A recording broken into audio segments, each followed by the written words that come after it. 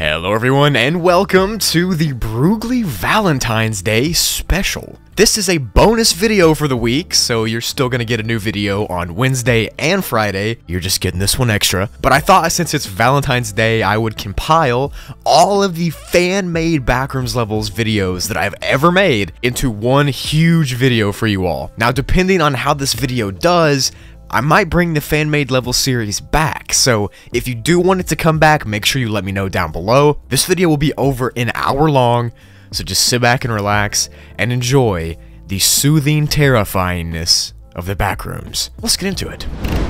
Starting off the video, we have Smiler. Now, Smiler's created a ton of different levels for me, but the one I'm going to feature in this video is called Old Memories or level 6.1. Smiler gave this level a difficulty of 5, but he also said it's safe and secure too, so I don't know how that works. But we'll go with it anyway. The level looks like your own house and it's even got everything you had from real life, from your pets to your video games to your family, and it's very peaceful there. You can actually live here too, like they don't try to hurt you or anything. It almost sounds too good to be true though. But to enter this level, you have to be on level 6 and then have a mental breakdown. Yo, what? And when you do, an entity known as Lucy will approach you and say that she'll bring you somewhere safe where you can live peacefully.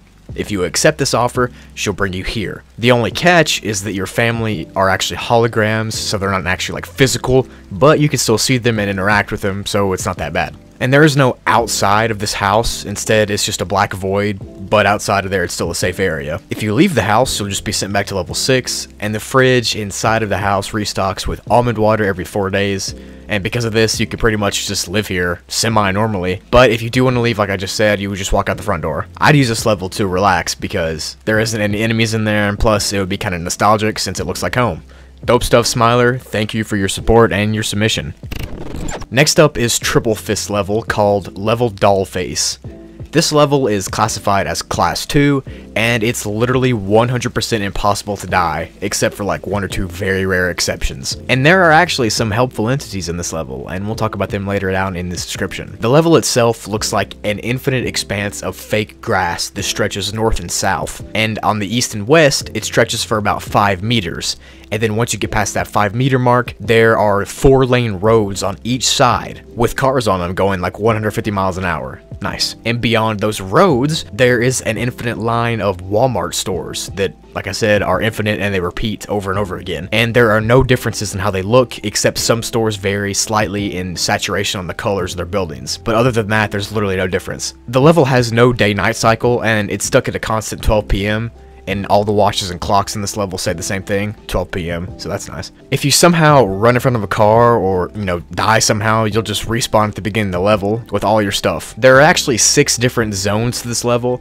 The safe zone the backyard the friendly entity zone the hostile entity zone and the super safe zone and then lastly null. The backyard is about 100 miles from the start of the level and you have to get in a car to get to these different zones. So the backyard zone is the exact same as the original zone except the grass has random of backyard items like sports balls, plants, and chairs, you know, typical stuff like that that would be in a backyard. There's a huge difference in hunger depletion here. The friendly entity zone is one of three places where you can interact with entities on this level, and it's about 500 miles from the spawn. Now given by the level name, these entities are doll faces, and they refuse to attack you no matter what, so that's kinda nice. They also will give you helpful hints on how to leave the level, now the hostile entity zone is about 2,000 miles from spawn, and again these entities are doll faces, but they're constantly hostile and they cannot be tamed except with super almond water. They refuse to actually kill you, but they will hurt you as much as possible without killing you, so that's nice. The super safe zone is the exact same as the safe zone,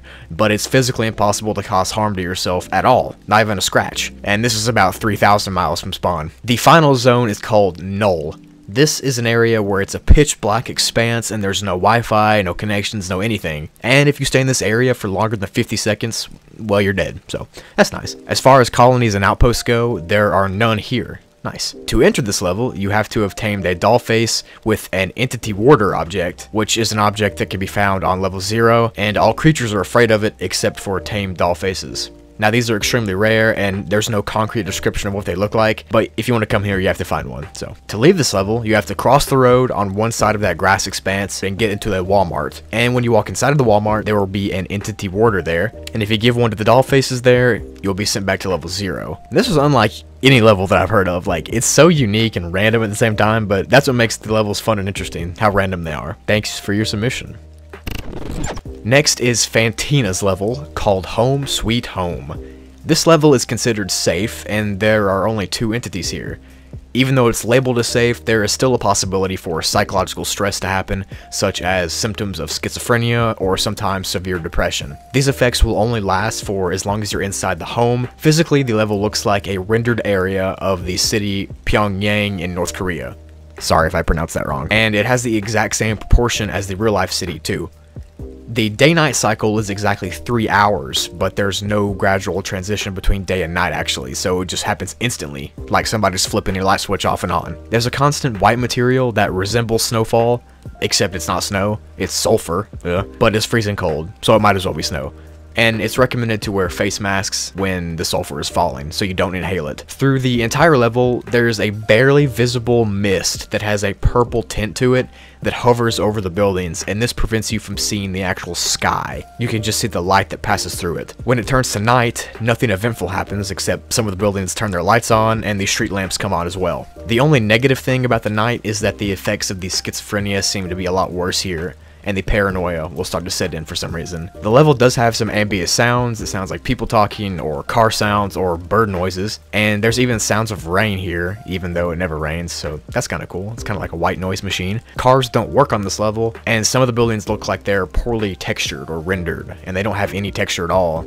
and they kind of look like a bad video game. These spots are the best spots for no clipping. Only some of the buildings can actually be entered, and they've got some furniture and random papers and books and stuff like that, and all the text is obviously in Korean, and there's paintings of North Korea's leaders everywhere too. Nice. There are two entities here, like I said earlier. The first one is the citizen entity, and these are mannequins that are found all over the entire level. They have no face or any describing features, but there are male and female and children ones as well. They're dressed for a workday or whatever outing they're doing that day, and they look like they're on the way to their job, but they're constantly frozen in place.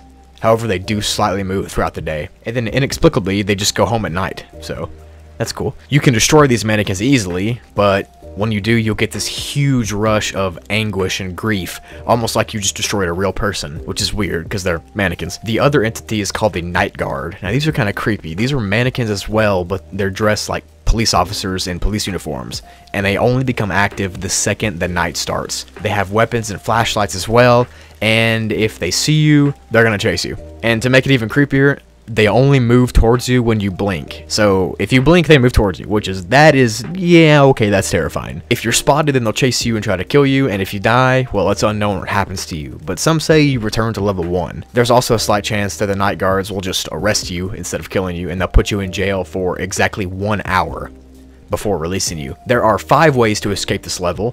One is through the sewers, which could take you to level 2 but the sewers are full of guards, so it's pretty dangerous and not advised. You can escape through getting inside of a car, which will knock you out, and then you'll wake up on level 69. You can jump off the edge of the area where the map ends, and sometimes you can just fall asleep on this level, and you'll end up on level 8. So, And the most common way to exit is you can escape through the offices that are in the office buildings, because there are some doors that just say exit on them, so that's convenient. To enter this level, you can no-clip through the floor on any level below 200 and end up here. Or you can watch the TV on level 42 that's displayed an invitation ad for this level, and then once you watch that ad, you'll wake up on this level, so that's nice. Those guards are terrifying though, how they only move when you blink, like that's that's nightmare-inducing stuff, but good stuff.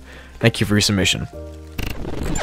Next is Rob Lee's level, and it's level negative 333,556,789, and is classified as Class 4. Now, the level itself looks like a giant kids' play area or a playhouse, and it's got over 3.4 billion square miles, so that's cool. There's also a bunch of mini levels inside of this level. We'll talk about those a little bit later. At the corners and at the very middle of the level, there are bottomless ball pits. Totally not creepy at all. But like I just said, there are 45 mini levels inside of this. And most of the entities are located on mini level 34, so this level is a hallway that has those bubble windows, like from the McDonald's playhouses in real life, and there are slide holes in the walls that you can get in and exit this level and go down to the lower level. To enter this level, you can go to a building on level 11 and jump off of a tall one and you'll end up here, or you can no-clip through the floor on level 0. To exit this level, you can find the giant slide on top of the mini level, and if you slide down it, you'll exit through a ball pit at the end. Or you can no-clip through the wall on mini level 20, and this will take you to level 10. The normal entities here are partygoers and windows, and the custom entities are the ball pit creatures, tubes, and balloons. Ball pit creatures are black entities with smilers' faces on them. They also have sharp claws but no legs, and they live in the bottom of ball pits. That's terrifying. The tube creature is a giant snake that resembles a slide, and they're mainly on the lower levels. Okay. And lastly, the balloon creature is, well, a balloon, and they'll float around and attempt to strangle you with their rope. That's weird. And sometimes they'll pick you up and dangle you over a ball pit to feed you to a ball pit creature. So that's nice. There are no bases here for the risk that the partygoers pose, and there's almond water and food everywhere here. So I guess that's nice. But the ball pit creature is terrifying. Like, imagine a creature that lives in the bottom of a ball pit. Like, that's scary. Good stuff. Next up is Duller's level, which is level negative 28, aka the Nitrogen Forest. This level is unsafe and unsecure, and there's an entity infestation. Physically, it looks like a giant forest covered in nitrogen, and there are white spruce trees everywhere. The level is constantly snowing, and the temps can reach as low as negative 16 It's pretty cold. The entities here are dullers, frost golems, frost watchers, and various other ones, and they're all covered in ice. There are also unique weapons here, like ice swords and bows and stuff like that. To enter this ice level, you can no-clip through the floor on level 11, and to exit, you can go through the door on the border of the level, which is about a thousand meters away from spawn, and this will take you to level 11. There is one colony here called the Frostmen, and they're known for being very welcoming to travelers, and they're open to trade. Nice stuff. I would love to see more snowy levels like this, especially for the holidays coming up, so good stuff, Duller. Thank you for your submission. Next up is Ecto Jelly's level, called Level Asterix, or Level Yes, but No. Nice. It's got a survival difficulty of 3. This level is said to take away the feeling of dread that you typically have in other Backrooms levels, and replaces that feeling of dread with disappointment so I don't know if that's any better, but this is because most people who end up here think they've escaped the backrooms and have managed to get back to reality, but they're proven wrong when they've closely examined their surroundings. After you realize you're actually not back in reality, your disappointment will fade, and you'll actually find an odd sense of contentment, because this level is mildly peaceful. When you first enter the level, you wake up in a grass field near a beach, and the sky is cloudy and blue and overcast, and the field is full of desaturated grass. There are a bunch of houses here made out of a cream brick, and they're all scattered around. They're pretty small, typically about 20 feet in length, and they got nothing special inside, but sometimes they have food and drink, but it's not there often enough to rely on. The most common food is a plate of cookies with a glass of milk, so I guess that's nice. I would come here just for that. The milk doesn't spoil and it's always cold. Also, in some cases, there's chocolate milk, which is a delicacy in the back rooms, which I didn't know, so that's cool. The ambient sounds of this level are soft sounds of waves crashing on the beach and the sounds of seagulls flying, even though seagulls have never been seen here, which is creepy, but it's cool you can hear them at least. This level is around 50 miles in length and width, and the middle part of it is the grassy area, with the surrounding border of the level being beach. The ocean water is only knee deep and it goes out for about half a mile before dropping off into an endless void. And some reports say that when you approach this void, a person gets a strong feeling of wanting to jump off and for those who have, well, they've never been seen again. There are different theories, of course, on what happens when people jump into the void, ranging from them dying to being transported back to reality. This level has two entities that are native to this exact level. One is called the Trojan or the Mole Horse. It looks like a large, muscular horse standing about 9.5 feet tall, and they're completely hairless and they have leathery skin. Its head's like more of a reptile than a horse, and it has no eyes, so it relies on hearing and scent to travel. They don't run away when someone approaches them, and they're pretty friendly to humans, but they're kind of aggressive sometimes, and they'll kill you if they wanted to. Ecto actually drew this Trojan horse model, which is super dope, so thank you for doing that. Like I just said, not all of the Trojans are kind, and some will instantly kill you if you approach them and, and if they feel threatened, so just don't approach them. The other entity here is called worms, and they look just like normal garden worms, except they're 200 feet long and 10 feet thick. Nasty. They have a mouthful of rotating teeth as well. Okay. They aren't very intelligent, and they eat Trojans and humans alike. They reside under the ground, and they only surface on the beach to capture prey. And they don't have any eyes, so they just sense things through vibration, so because of this, it's good practice just to avoid the beaches. The only ways out of the level are getting a ride from a Trojan, or finding a doorway in some of the houses that'll take you to another level. These doorways are located in the main colony, which is in the very middle of the island, and the best way to get there is by hitching a ride on a willing Trojan. This level seems pretty relaxing to me. I mean, I would stay here just to hear the ambient sound of the beach and the waves crashing and stuff, because that's relaxing. But good stuff, Ecto Jelly. Thank you for your submission.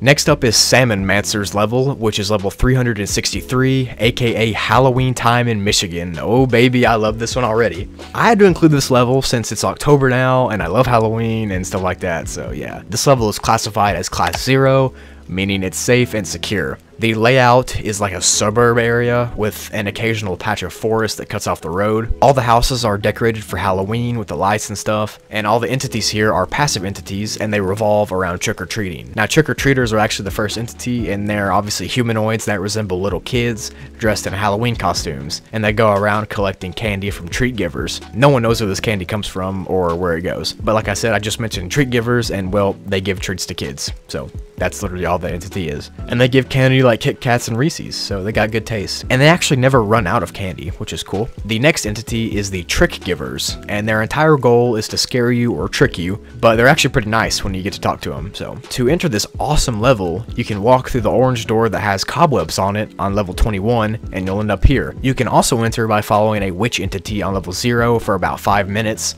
and to leave this level, you can enter an abandoned house, which will take you to level 9 or you can take the community bus to level 11. This level was so cool, bro. Like, I love Halloween, and I would legitimately just live here if I was stuck in the back rooms, because I love the vibe, but thank you for your submission, dude. This is awesome.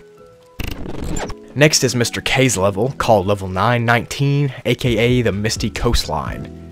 This level is classified as Class 4, being unsafe and unsecured with a medium entity count. The level itself is a long coastal beach with a slow fog that constantly rolls over it. Even though you're on a beach, you can't hear any water splashing sounds, which is kind of disturbing. There's one big lighthouse on the edge of the beach and it's slightly worn down, but that's just typical of a lighthouse. Inside of the lighthouse, there are these huge flights of stairs that lead straight up to the top. The tide comes in once every 10 minutes, and they're either large or small, both of them being dangerous.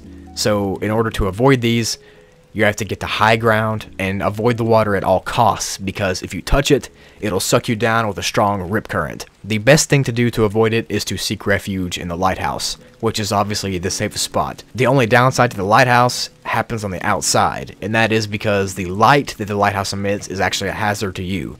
Because if you see it and you look directly into it, there's a good chance you'll go blind. So don't do that.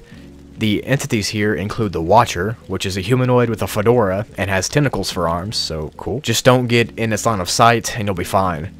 Another entity here is the Whisperer of the Mist, which is a whisper that comes from the fog that tries to lure you into the water. Another entity is the Murky Sunkers, which are dark blue tar-like entities covered in seaweed and they appear in the water when the tide comes in. Just don't make loud noises to alert them because they are very, very hostile. The last entity is called the Fog Smiler, which is a normal smiler, but they live in the fog. To enter this level, get almond water from a vending machine on level 11, and then go sit on the beach there for 30 minutes. And then you'll be sent here. To exit this level, you have to fix up the rundown boat that's docked by the lighthouse. This level is also really cool. I know I say that about all of them, but seriously, like all your guys' ideas are so cool, and I love hearing about them. They're all so unique. Like good stuff, guys. Thank you, Mr. K. And last for today's video is Collins level, which is level 2008-2015, aka the Office level. This level is the exact layout of the Office from the Office show, and it has all the same characters here too as entities. For instance, Jim will pull pranks on you, and Dwight will try to kill you with any assortment of different weapons he can find. Nice and the entity of Michael will just sit there and watch you and laugh at you. Over the loudspeaker in the office, there is always the office theme song playing, so that's creepy. And there is no exit, so just don't come here, I guess. I included this one because it's just hilarious to me. Thank you, Colin, for your submission.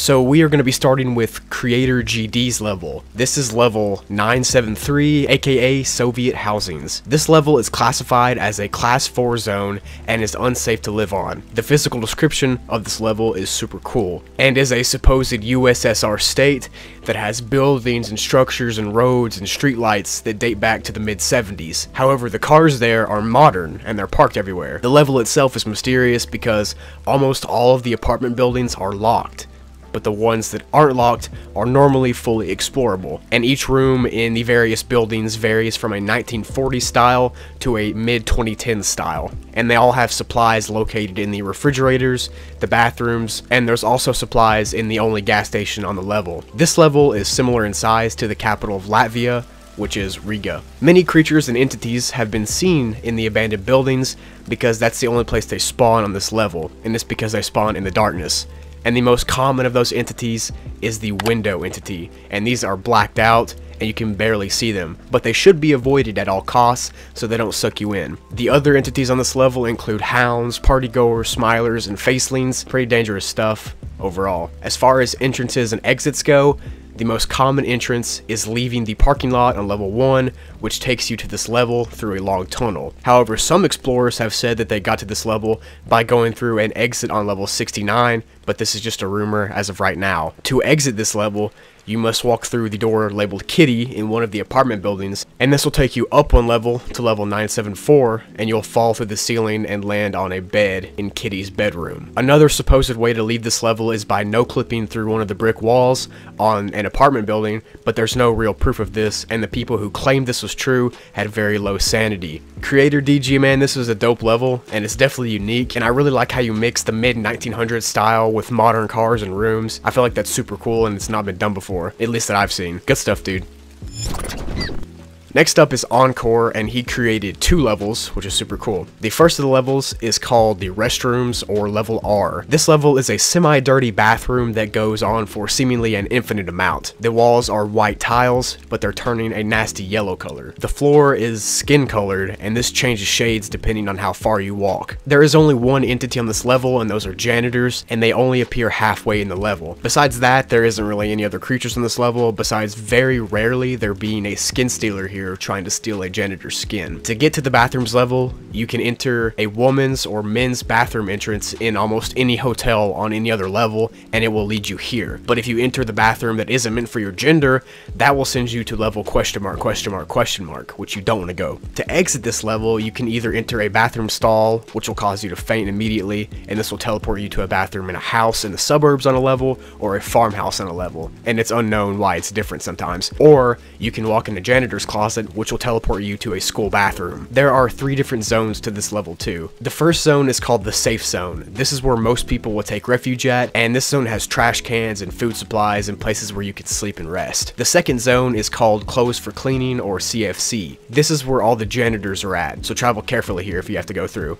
The last zone and most dangerous obviously is called the beyond, and you'll want to wear very thick clothes or even a hazmat suit if you go here because there are these spills and goo on the wall, and if you even so much as touch whatever that liquid is, you'll instantly die, or if you're very unlucky, you'll start melting alive. So that's nice. The second level that Encore made is called Checkpoint Zero. This is a check-in desk in the back of a room that has a 1908 fancy hotel kind of vibe. This level is a room that seemingly goes up for an infinite amount. It has red and gold wallpaper and the room is very heavily furnished. There are supplies in this level like guns and food, as well as almond water and hazmat suits. There is only one entity on this level, and it's one that Encore created himself. It's called the Hotel Keep. This is a passive entity and a kind entity that wears a fancy red and gold suit and has skin like a void with no discernible features. To enter this level, you can no-clip and faint through a wall on any level and you'll end up here, and to exit this level, you can take one of the two elevators behind the desk and that'll put you on a random level or you can talk to the hotel keep and then he'll put you on a different level. So yeah, Encore created level R, the restrooms, and checkpoint zero. These are cool levels, dude. I like that you created the hotel keep as your own entity. That's super dope. I hope to see more of you guys doing that kind of stuff too. Next up is 3910, and he or she, I don't know which, created three different levels. The first of these levels is called the Dark Halls, or level negative 61093625471641. There are three zones to this level. The first being the Bright Zone, the second the dark zone, and the last the black zone. On the light zone, there are no creatures and the almond water is abundant there, and there's also weapons and supplies here too, and this zone is physically the brightest zone with the best visibility. The dark zone is very dangerous and has tons of entities, and most of them are skin stealers. There are less resources in this zone, and it's much darker too. The third and final zone is the blackened zone. This level is almost completely pitch black and has very little viewing distance. And almost every entity is on this level somewhere, but the most common entity is the Insanities. There is very strong armor and weapons available in this zone, but the risk of traveling to it is super high. So to get to this Dark Halls level, you can no-clip through the clouds on level 988, or you can drink super almond water on level 177. To exit this level, you have to find 5 super almond waters in the light zone and drink them all, or you have to cure 10 insanities with almond water. The next level 3910 made is called Level Computer or level 813-119-147. This level is very different from all the other levels in the backrooms.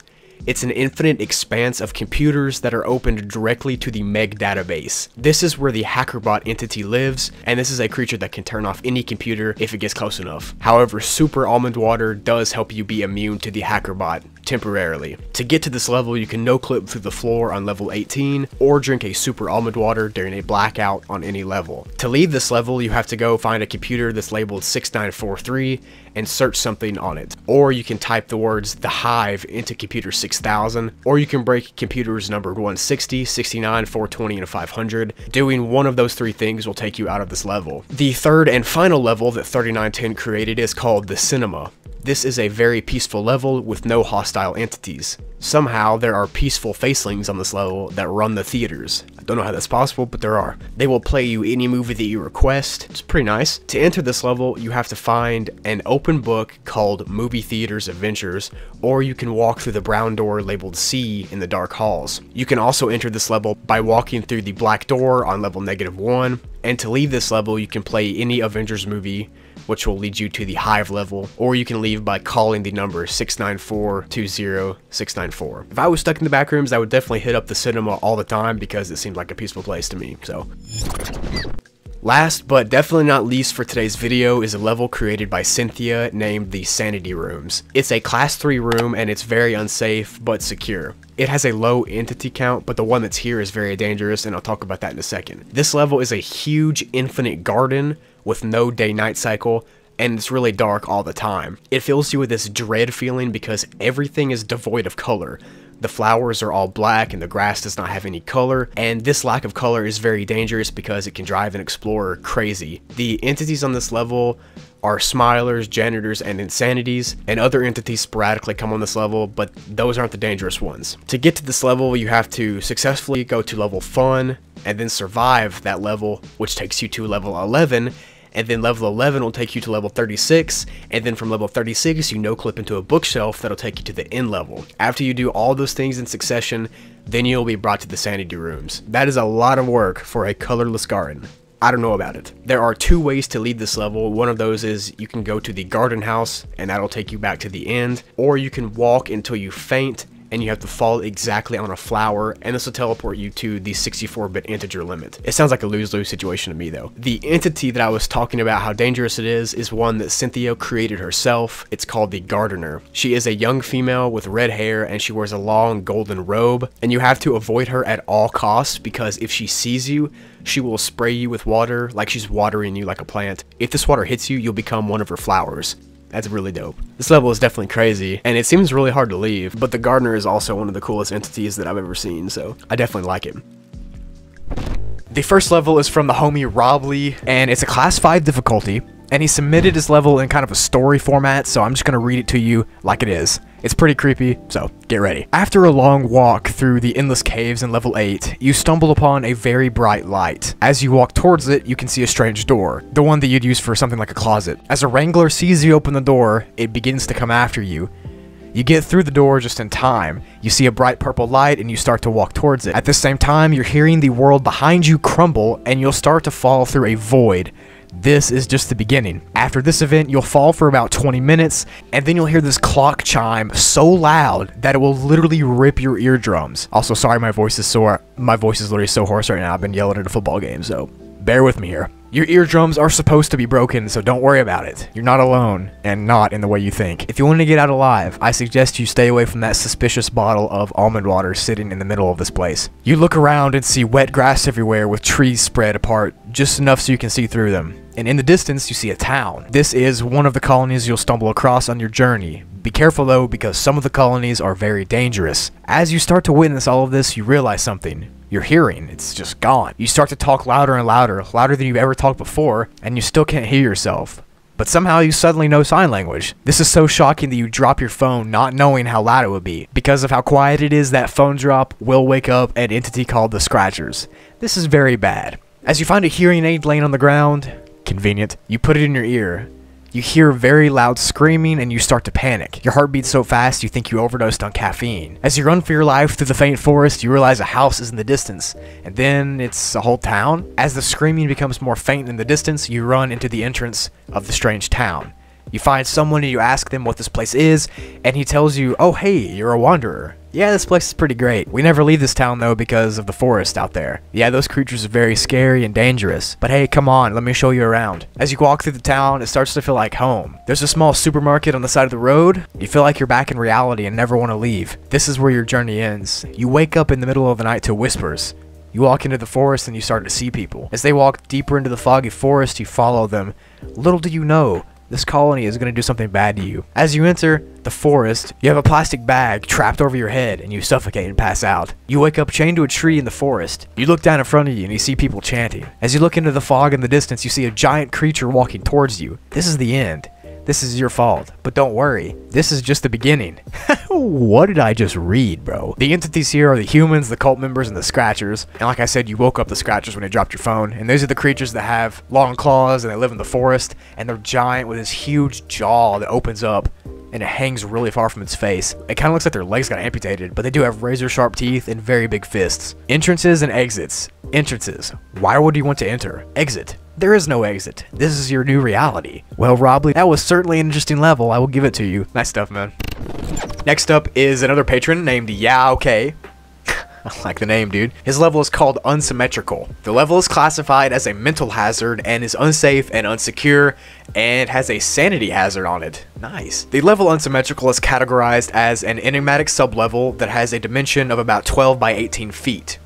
It looks like a modern living room and it has furniture everywhere. And each piece of furniture has little small imperfections, whether it be a dresser drawer not shutting all the way, or a chair being tilted, or a sofa not being pushed far enough against the wall. Stuff like that. The level drains sanity insanely fast as it is, and it does it even faster to people who have OCD. The insanity starts to set in slowly, but has a fast buildup over time. If a wanderer breaks something on this level or damages something in any way, an entity called the Imperfectionist will appear and drag you out of the level to a place called the under rooms. Nice. This is something you're going to want to avoid at all costs because no one knows what happens after that. So if you come here, make sure to bring a large supply of almond water because there's none here, no food or drink at all. So make sure you come stocked. Also, there's another entity here called the Voices, and this is the part of the level that induces the mental health hazard. And the Voices appear on the final leg of sanity loss. There are actually five tiers specifically of losing your sanity here. The first is having your normal sanity, then minor sanity. The third is when the voices start to appear, and they start at a little whisper.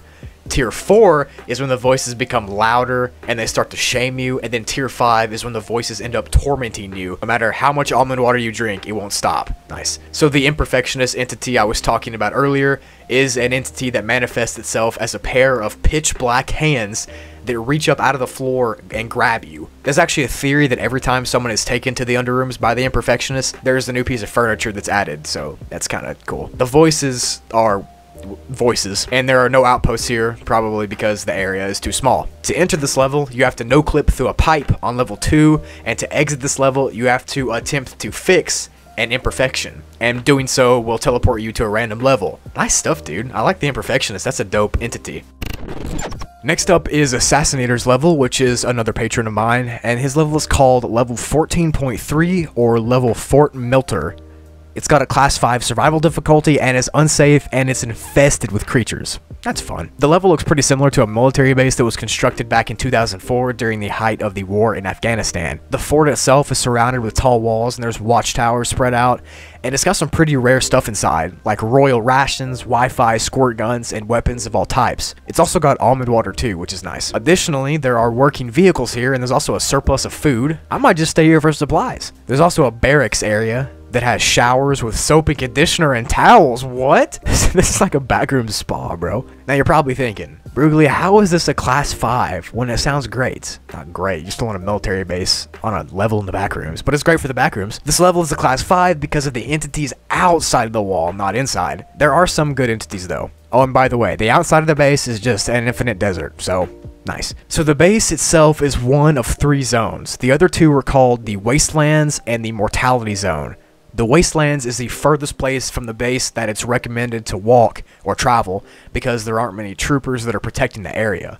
And we'll get into the troopers in a second. So pretty much it's like a border of where you should go. And if you cross over the border by yourself, you'll be in the mortality zone, which this is the final area where the entities like hounds and skin stealers and combines and clumps live. And you literally won't survive if you're alone so don't even try. It's pretty much a death sentence. Here is an interesting note as well. There's a rumor that if you kill the commander entity here, you'll be sent back to reality. Now, sorry, commander, I'm literally taking my chances to get back home. Now to the entities here. We just talked about the commander, who is an entity that dresses in all black marines clothes, and he carries a revolver with him. And he's got no distinct facial features, so it doesn't make sense how he communicates, but he does. He commands the normal troops on what to do, and he's generally pretty friendly unless you start being rude to him, and then he'll either kick you out of the camp or he'll use that revolver on you. I also mentioned the troopers a while ago, and they're referred to as, quote, soldiers mostly. They seem to be U.S. Army privates that are wearing digital camo and combat helmets, and just like the commanders, they have no features on their face. They carry an M4 rifle with them, and they use it to protect the base's perimeter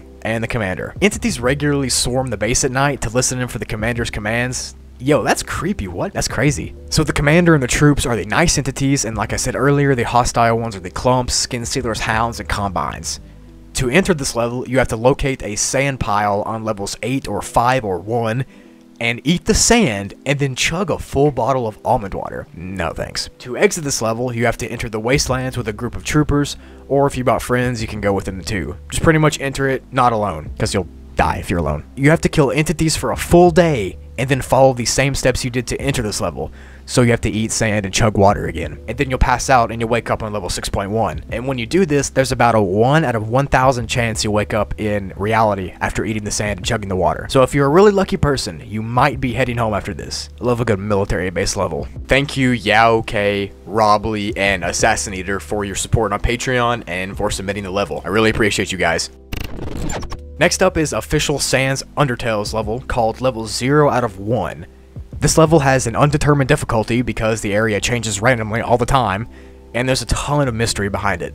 So level 0 out of 1 is just what it sounds like. It's a level that can only be accessed when you try to leave level 0 of the backrooms, and you get glitched in between it and level 1. This causes a fusion and morphing of reality itself, and it's almost like you're breaking the backrooms. This is like an in-between state, and this in-between state causes some really weird things to happen. For instance, creatures can merge and levels themselves can merge together. So like there could be a half Party-Go or half hound creature, or the same yellow wallpaper from level 0 could be painted on a concrete wall from level 20. Don't drink or eat anything here either because they can be mixed up too, like almond water could literally be liquid pain, so don't even try. Like I said, the only way to enter this level is to get glitched when you try to leave level 0, so just don't get glitched. And to exit, you just have to wait out the glitching, and it'll eventually spit you out on level 1. Nice stuff. So next up is a level from Darren, and it's called All Those Memories. Nice name. The level itself is secure, but being inside of the level is what's actually dangerous. There aren't even entities here except Mind Buzzers, the Judge, and the Insane Wretches, which is a mixture between an insanity and a wretch, so pretty much nightmare fuel but more on the entities here later. This level is a messy warzone area that has a red sky. When you spawn here, you'll instantly get the feeling like you just won a war that you've been fighting for years, even though you haven't fought a war, obviously. But after 7 hours of feeling this good feeling of winning the war, you'll be flooded with feelings of guilt and stress and trauma. At this point, you can either stay if you're a weirdo, and be devoured by your feelings, or you can just try to leave. If you stay, you'll start to hallucinate visions of soldiers on your side dying, and you'll be filled with remorse and sadness. These hallucinations continue for 8 days, which is only a few hours in this level's times. And after 8 days, if you kept any sliver of your sanity, the judge entity will appear and will show you all of your bad memories from real life, the ones you've actually been through. When he does this, he'll induce those same feelings you once had on you again, on top of feeling the guilt placed on you by the level. That's some tough stuff, dude. The only way to escape is to truly accept the feelings and to get over them and go past them and then you can no clip through a house at the base. On top of all those things I just talked about, Remember those mind buster things I mentioned earlier? Yeah, they're here to mimic your worst fears. Okay, dude, this is literally like the worst level for your sanity ever. You literally get induced PTSD. If you don't treat yourself or escape, you'll pretty much instantly become an insane wretch within a period of two real life days. Although those two real life days feel like 73 years on this level, so it feels like an eternity pretty much. If you don't become a wretch, well, you still get a terrible end if you don't leave. Because if you keep your sanity, you'll then be glitched into an empty void to live out the rest of your life, alone, in a void. Bro, you can't win for losing here. Although it is worth mentioning that the album called Everywhere at the End of Time is constantly playing through this level. Nice. You can enter this level if you get killed by a smiler, so don't. And the only exit is to go to the military base and escape. I've read a lot of levels and this is one of the most mentally terrifying ones, so good job, Darren. Next up is Buckmaster's level, called level negative 74. This level is classified as class 4, and it has mysterious properties and unknown information about it, as well as some undocumented entities. Nice. There's not much rock solid information on this level, and all that's ever been found is its physical description, and that is that it resembles a Bob Ross painting, because it's got similar landscapes of some of his actual artwork, but it's real life. Some people speculate that when you get teleported to this level, you're actually being teleported to a real-life Bob Ross painting, which would actually be dope at first. At first glance, this level seems pretty safe and even serene to an extent, but it's actually highly dangerous. If you get sent here, you need to exit as fast as possible, because in under 7 hours, this level will begin to start making you lose touch of reality, and your sanity will pretty much just throw itself off a cliff. And after 7 hours of exposure to this, You'll start to have mental breakdowns and psychological attacks. Nice. If you make it to nighttime without leaving, then these cabin things will start to appear all over the level, and these can range from log cabins to huge houses, like a fancy golf guys club house, you know, you know what I'm talking about. This is literally all the info available on the level because it's too dangerous to do sustained research on, so there's not any outpost here, obviously except those cabins. You can enter this level for whatever reason if you turn on a TV or if you walk deeply enough into level 6. You can also write school Sucks with a Z on the class chalkboard on level 74 as well. You can exit by going through a no exit door in one of the wooden cabins that appears in the nighttime. Or you can build a treehouse, nice, in any of the trees around. You could also escape by drowning yourself in a river, but nah, I'm not doing that. Or, the coolest way, you can escape by beating one of the entities in a game of golf. The entities here are smilers, hounds, and a creature called a chauffeur, which only appears at night in his carriage. He'll take you wherever you want to go, and he'll even offer you a caramel while you ride. If you don't accept the chauffeur's offer, he will literally scream at you until your ears bleed. Nice. Another entity is called the Hunters, which are hunters that wear leather aprons, dirty pants, and a big dark brown trench coat.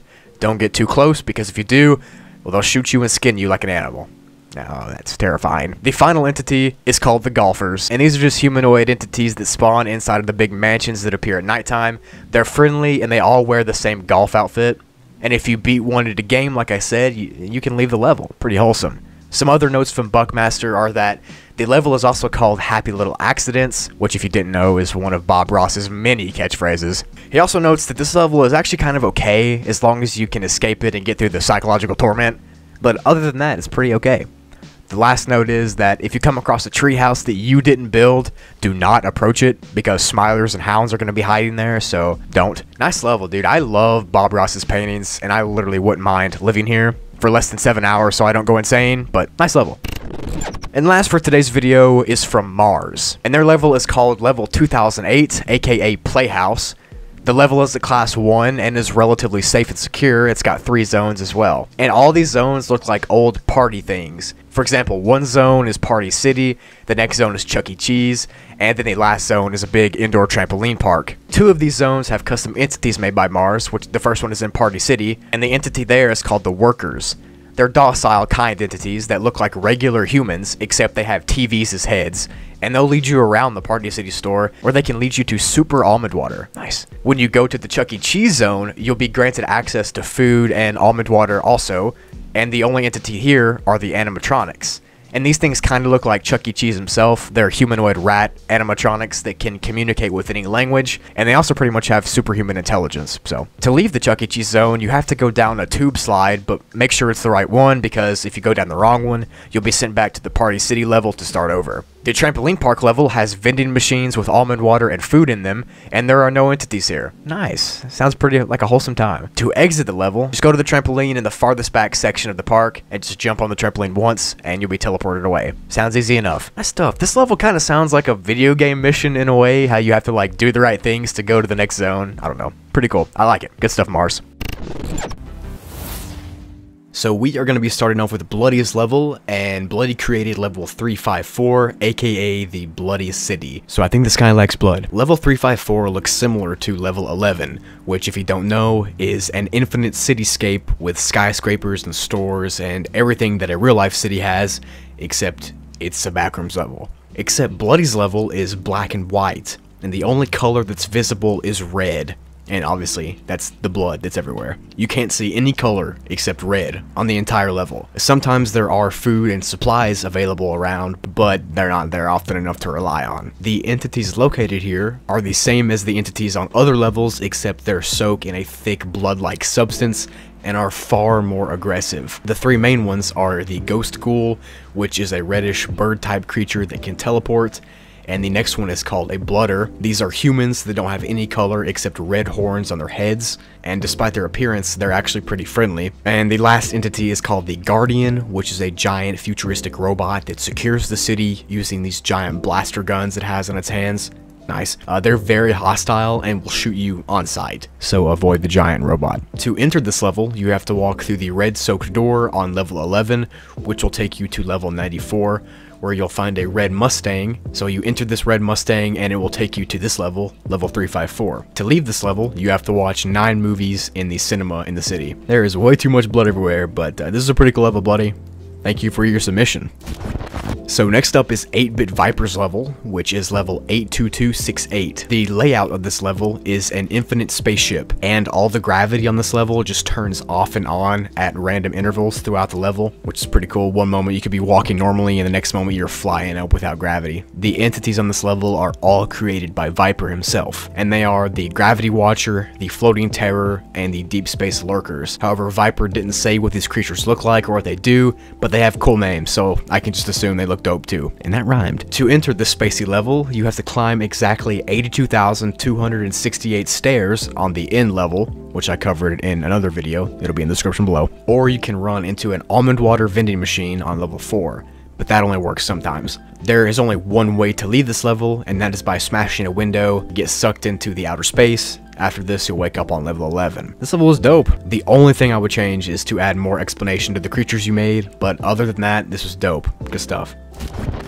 Next is Blitzy's level. It's called level 531 or the intense battle scene. This level is classified as a class 5, meaning that it's highly dangerous and not secured. But there are very important and valuable things located on this level. There are also three sub-levels, which we will get to later down in this description. The main part of level 531 looks like a WWE fighting ring that stretches for billions of miles and has an estimated size of over 20 Earths. That's crazy. The second you enter level 531, you're given high-tech armor and a gun with an infinite mag. Cool. Right after you take your first step, you'll be teleported instantly to level 531.1, which is the first sub-level, and it has no entities and it looks like a claustrophobic inducing house because it has no windows or doors. But on this sub-level, there's a freezer that restocks every hour with food, and there's more armor and weaponry laying around. So you can't stay on the sub-level for longer than 5 hours, so when it hits that 5 hour mark, you'll be teleported to level 531.15. So level 531.15 is the second sub-level, and it looks like a training facility where guns are tested. This is the place where you can improve your aim. Trust me, you're gonna need it here in a second. And the only entity here is the General, who is an entity that commands you to shoot at 900 dummies fatally so you can kill them. Once you do this, you'll have passed this challenge and a door will appear. And if you don't go to the door after 10 minutes, the general will send you to the last sublevel, which is sublevel 531.99. This is the exact same level as the main level, which is level 531, except this sublevel is corrupted, and it looks like the negative end level, which I talked about in my Backrooms Explained video. It's literally just a level of glitches flying around in code. On this level, there are hordes of hounds that will start floating through this code towards you. In order to escape this, you have to kill 2,000 hounds just to get back to the main level. Once you do this, you'll be back on level 531, the normal level, and you'll be greeted with tons of smilers and skin stealers and janitors and hounds, which are all ready to attack you. However, in a nice twist, at this moment, every friendly faceling from levels 5 through 300 are teleported to you on level 531 to help you fight this horde of this pending attack. Nice. To enter this level, or its sublevels, you have to lose your own life on level 10, and this will bring you to the sublevel 531.1, or you can get cured as a stage 1 insanity, and this will also bring you to that same sublevel. To leave this level, you can no-clip through the walls on the main part of level 531, and you'll end up in that fake end room that's the library. There are like 10 other ways to get in and leave this level, but I'll just pop them up on the screen right here. Yeah, this level and its sublevels are pretty cool, dude. And I really like the idea of having an infinite WWE ring. Like, that's so cool to me. The only thing I would add is like this wrestling entity that looks like an actual like wrestler like Hulk Hogan that it just attacks you randomly when you get in here. But otherwise, dope level, dude. I really enjoyed this one. So last for today's video is Daniel's level, which is called the Comfort Zone, and this is one of the coolest levels I've ever heard of. The way to enter this level is still unknown, however someone said that they entered the level by following a faceling on level 11, then they forgot what happened after that, but the level itself looks like your house from real life. When you enter this level, you land on your bed in your own bedroom that you had back in real life. Once you're in your house and in your room, the level begins to distort your memories, making you almost forget the existence of the back rooms and making them feel like a fleeting dream or memory that you have. The house looks exactly like your real house, and it's got all the essentials for basic life, like food and water, restrooms, stuff like that. But don't be fooled. There are two entities on this level. The first one is called the Comforters, and these creatures look identical to the people you lived with, even if it was a roommate or your actual family. They look identical, and they have the same personality as well, and they do everything the same that your real family would do. After exactly a month of living with this family, you'll have completely let your guard down by then, obviously, and the comforters will attack you by opening their mouth and their entire face opens up and they'll spray a liquid all over you that can cause you to melt. A survivor claimed that it was actually an almond water mixture after he saw his sister get melted. Another entity on this level is called the mom or the main female of the group, and she collects almond water and puts it in those basic almond water containers that are found all over the back rooms. She'll collect them and then put them in the refrigerator, and then they'll disappear. So it's assumed that this level supplies all the levels of the back rooms with almond water. It's also been noted that this level seems to be more powerful the longer you've been in the back rooms, which is kinda creepy to think about. The only way to leave this level is to fall asleep successfully, which is harder than it sounds because your mind forgets about the need to sleep whenever you get into this level, so you just lose your desire to sleep, I guess. The other entity is called the this, I can't pronounce it or even know what it is. And it can affect your memories in this level and when you leave the level as well for a short time. But Daniel recommends that everyone should try this level as a way to reunite with your family if you've been in the backrooms for a while. But just make sure that you can fall asleep so you can leave before it gets too dangerous. Yo, this is a super dope level. Like actually the false sense of security that you would have, like you would see your actual family and they would act the same, but you wouldn't even know until they open their face up to try to kill you. Yeah, dope level, dude. First up is Nice's level, called level 4500, aka the gaming room. This level is a huge white room with hundreds of gaming computers. Nice says that when people come here, it's pretty much because they're bored, and it's because the level is pretty easily located. All of the computers here have Windows 10 installed, and they all have a 7-letter name coded into their code. Each PC has over a thousand games on them, so you're never going to get bored, and there aren't any colonies here, and you can enter by going to a building on level 11 that's labeled Gaming Room. Or if you break a crate on level 2, you can find a teleporter to come here. To exit the level, you can just go out the door of the room and it'll take you back to wherever you came from. It's a nice simple one to start off the video.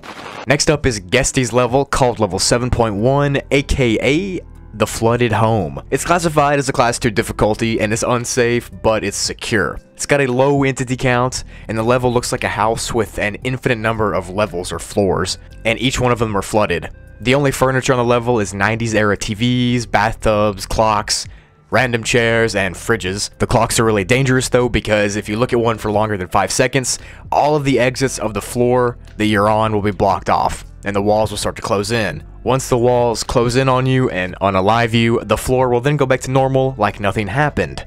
Nice. The water that's flooded all the levels is salt water, and it's always at 15 degrees Celsius, or 59 degrees Fahrenheit, and it's 50 centimeters, or about 20 inches deep on each floor, so it's around 2 feet deep and cold. Nice. The level pretty much has no entities, but you can rarely find not water on some floors, which I explained what not water was a while back in a Backrooms Creatures Explained video, but it's pretty much sentient water. The basement is a section of the level that has its own levels. They're called the basement floors and they have no light or water and the temperature is over 86 degrees and can go up to 100 degrees, so it's hot down there. There are not any bases here, and you can enter by getting into a bathtub on level 7 and going to sleep in it.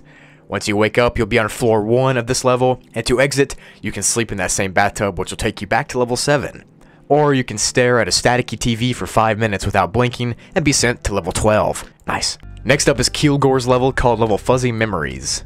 It's a class 3 difficulty and was discovered on September 17th, 2020 by a Meg agent. The agent was exploring level 11 when they found a mall that for sure was not there before. The agent then went inside the mall and was transported into some kind of food court, which is inside of a mall that stretches out for miles in all directions, including up. The mall itself looks like it's from the 80s or 90s and has vaporwave music and signs all over, and sometimes you can hear classical jazz music playing. And if you do, you have to hide as soon as possible because the entities here are attracted to it and it's not good to be there when they're running at you. The higher floors of the mall don't have any entities, which is nice, and the lower levels of the mall can lead to the exits, but we'll talk about that in a second. You can get to the lower levels by these distinct black staircases so they have specks of blue in them. The entities here are teeth groaners, nice, which are tall black figures with bloody smiles on their faces. Then there's the Shadow, which is the same entity that was in yesterday's video. Then there's the Gang, which is a group of teens that roam the mall. They aren't human though, but they're close to it. They're harmless, and they'll actually answer any of your questions if you have one. Lastly, there's the co-workers, which only appear at nighttime, and they look like the janitors from level 117. They're robotic, fast, and aggressive. Nice. There are not any colonies here, and the only entrance is what I said earlier, which is entering a mall on level 11. There are two exits though. One of them only works from 3 to 8 a.m. and it's on the bottom floor through a trapdoor which will take you to a safe level. Then there's a possibility of randomly no-clipping through flower pots on the level. Cool. Next is Can of Angry Airs level called level 505. It's a class 0 and is safe and secure with no entities. The level looks like a giant grocery store with only one faceling that works there as a cashier. The store has typical store stuff from real life and all the food is consumable. However, if you do steal something, the alarm will go off and the facelings that are dressed as policemen will take you to the supply room to interrogate you. The police also don't allow pictures to be taken of the level, so don't take any. The sections of the store are the main hall, the cashier area, the supply room, and the alleyway door, which are all exactly how they sound. The entities here are the cashier faceling, which is willing to trade for the food and the drinks that you're going to be purchasing. Then there's the police facelings, which are police facelings. And then to enter the level, you can go through an alleyway door on level 11, or you can let a faceling wearing a black cap teleport you here. To exit, you just have to go back out the way you came. Nice.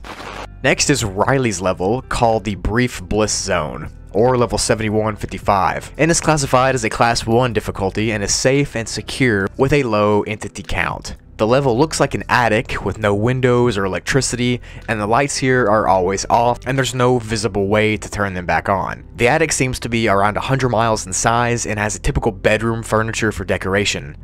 When you enter the level, you'll walk down 27 stairs and you'll find a table with a flashlight and a couple of bottles of almond water on it. When the flashlight is off, there's this thick fog that covers the level, but when you turn the flashlight on, it goes away. Nice. It's important to not turn the flashlight on the highest setting though, because if you do, it'll attract a small humanoid figure called Bliss, which will appear in the middle of the light beam, then walk towards you and turn off the light. Cool. And when Bliss touches you, you won't be able to move for about a minute and a half, and then you'll be sent to level 19. To enter the level, you can no-clip through a flickering light on level 20, and to exit the level, you can get touched by Bliss, or you can shine the flashlight on a knife for 8 seconds and then cut through a TV screen, which will then take you to level 155. Next up is Toaster's level, called level 7479, or Better Off Unalived, if you know what I'm saying. The level is an old wooden house that's surrounded by decaying plants. The walls are all rotting and decomposing, and the grass around the house is dry and dirty. The weather here is always overcast and it'll occasionally rain, and the smell of the level smells like a dingy autumn evening, and all the furniture inside of the house is all torn up and ruined as well. And most of the floorboards are broken or gone or are in the process of being broken or gone. So pretty much it's just a really badly decaying house. People who have been in the house have described the feeling that they're being watched, and the reason for that is because they actually are being watched by the entities that live here called the Husky Travelers. These are the only entities here and they're very long-limbed entities that are about 8 feet tall with ivory skin, which in texture and color is similar to crocodile skin. They're very docile until you make eye contact and then break eye contact. If you break the eye contact, they'll run towards you and stare at you again. And if they get close enough, well, they'll rip your head off. Nice. To enter the level, you can just go through a door on level 5, and to exit, you can find a golden key in a sofa in the house, which will unlock a door inside that will lead back to level 5 and there aren't any colonies here, because who wants to live in an abandoned house? Let's be real. Last up for today's video is Doodly Bros level called the Closed Desert. It's a survival dead zone because of the environmental hazards and unreliable exits. The level is in a generated apartment style building like level 7, except instead of the floors being flooded with water, they're flooded with sand. The sand is red and orangish, and it's that color because the sand is actually the dry form of liquid pain, and just one grain of the sand can trigger the full effect. There are certain instances of doors leading to brick walls and holes in the ceiling leading to nothing, so a lot of the level doesn't make any sense. There are not any colonies here, obviously. And to enter, you have to drown yourself in sand on a different level, and to exit, you can climb into a roof hole and end up on level 46. Nice. That's it for this huge compilation video. Hopefully you did enjoy it. If you're still watching to this point, comment uh, is cool. The first person to comment that will get pinned. Thank you for all your support recently. I really genuinely appreciate it. I'm going to be bringing back the full-length Backrooms Entity videos soon, so watch out in the next month or so for that, as well as some individual level explained videos coming out soon. Tons of content on the way. Hope you're ready. Thank you so much to my channel members and patrons for all the support. Go sub to Twoogli while you're down in the description. Thank you for watching, and I will see you later.